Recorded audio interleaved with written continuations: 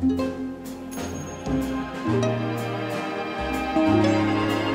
think I may be falling in love with you.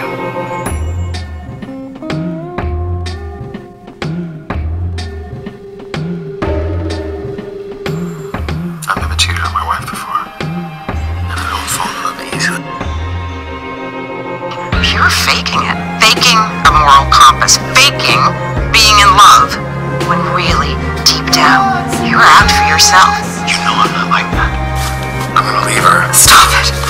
Wait a minute. Please stop it. Go home to your wife. Maybe this is who you've always been, and I was just blind to it. Shame on me for expecting more.